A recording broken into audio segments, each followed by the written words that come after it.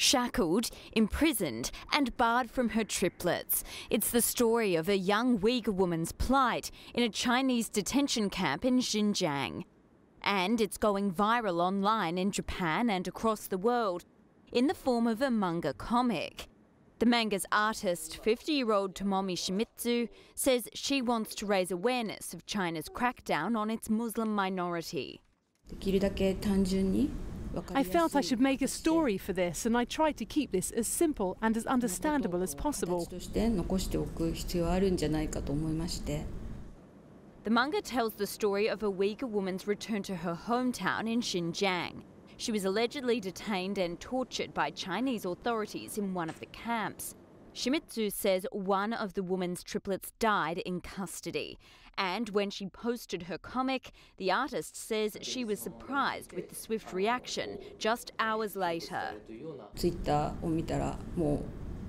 When I checked my Twitter, there were so many notifications flooding in like a waterfall, and I thought something big is happening. The comic was retweeted more than 88,000 times and viewed more than 330,000 times on her social media pages. It's also been translated into 10 languages, including English, Uyghur, and Chinese. Li Da-ren, a Taiwanese internet engineer, translated the story into Chinese. He says he was deeply moved by the story.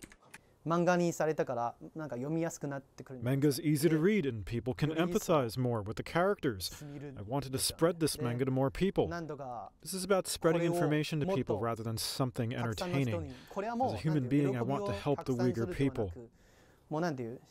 知る権利っていうか人としてなんか助けてあげたい気持ち the UN and human rights agency groups say between 1 and 2 million people have been detained in Xinjiang. Most of them are ethnic Uyghur Muslims. Beijing calls it part of its anti terrorism campaign. China has repeatedly denied any mistreatment of Uyghurs. Shimizu denies that her manga was intended to smear China, but she says she could not turn a blind eye to the story.